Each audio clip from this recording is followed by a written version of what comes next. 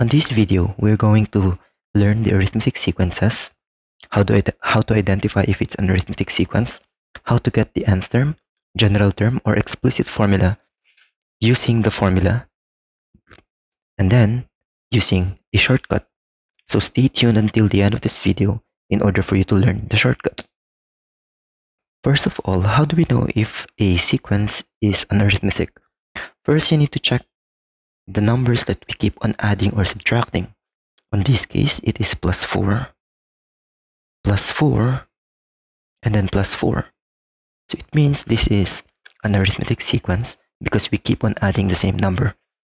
Now, by using the formula over here, we are going to find out the formula, the general term, or explicit formula, they all mean the same thing. So all you have to do is to copy un. This is just a symbol for whatever term we're looking for. A or U1 over here. By the way, it depends. Sometimes the school or the syllabus say A or U1, but they mean the same thing. It means the first term. So when you say the first term, that is the first number in here. That is the first term. So 7 plus, and then we have n minus 1. By the way, this n, just leave it. I'll tell you how to use that later on. And then d over here, which means times. There's times d, and d is the number that you keep on adding on, which is 4. And then we'll just have to simplify it.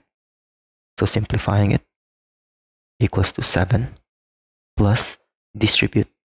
So 4 times n, which would be 4n, 4 times negative 1, which is minus 4. Simplify by combining this. So 4n plus 3. Therefore, that is the, uh, the formula. Now, what is this used for? We use this, for example, you want to find the next number here.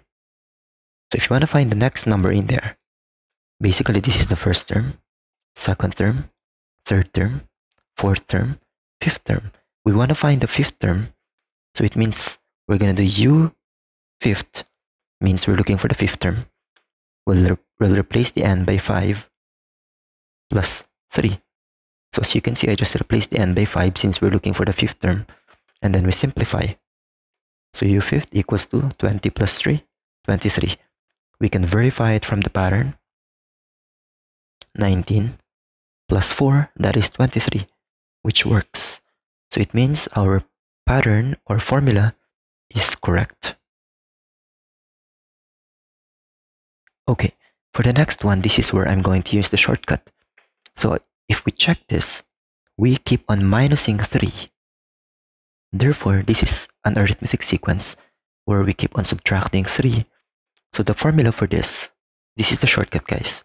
un equals to, since you keep on subtracting 3, just put negative 3 and then put n next to it. And then, let's find out the number here. If there is a number here, what could that be? And that's gonna be 23. So basically just plus 3. So it means plus 23 over here. And that is how you find the, the pattern using the shortcut, which is much easier compared to the previous one.